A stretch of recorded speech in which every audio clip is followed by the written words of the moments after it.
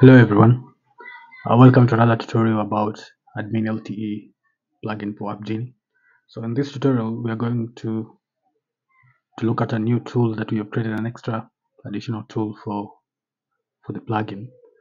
So this tool is going to help you to, to change the font of your application. So in certain cases, you may find that you need to create or to change the font of your application, you know, your entire application. So maybe you don't want to have this font on these pages, the login page, the inner pages, uh, even this uh, AppGini table, application fonts, even the admin area. So we have created a tool that will help you to easily do that. So this tool is already created. So it's, a, it's simple because we are just using our custom pages builder here. So if you go here, so my tool is here. So I've saved it here. So it's called the app font changer tool so here it already has all the google fonts that you'll need. Okay so there are several i think hundreds of them. So if you want to have a reference to see how the fonts look like you can click here to refer to google fonts directly. So this one will give you an overview of how all the fonts look like. Okay so you can scroll through and find one that you want to apply to your application. Then you'll go to the other side and apply them. So let's let's assume we want to apply this lobster. So you come here and search for for lobster like that. This is lobster. Then say apply font. Okay? So you'll see the font is applied. And as it looks like here you see the way it looks? So that's the same way it looks here. So this font will be applied everywhere to your application even your tables you'll see here these tables will have that font when your admin area will have the same same font everywhere. It will be applied.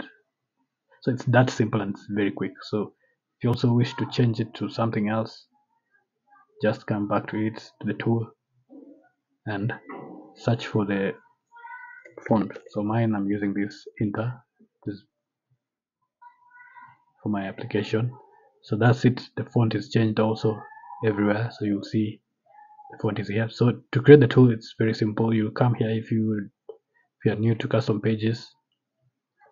So if you can go here to dashboard builder then you go to documentation. So if you click on documentation it will take you to the documentation of the app.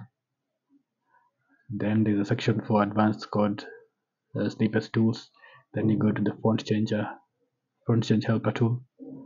Right there so you'll find all, all all that but what we are interested in is the code here. This github gist code so you just click on it. To take you to github directly here. So you'll find this is the, the code. So on your app you just come to this menu go to custom pages builder and create, your, create a new custom page give it a name give it an icon select a table group then select the user groups that can access it the page to change the font. So for this case it's just admins then save then create page. Once you've created the page you just go here to font changer. Now the tool that you've created. So under the code section so we want to change the code. So so for my case i've already put the code but for you you just copy everything here you can click on draw here. Select everything. Once you've selected everything paste it here save code changes. Once you've set code changes then you go to your tool. It's ready to use. It's that simple.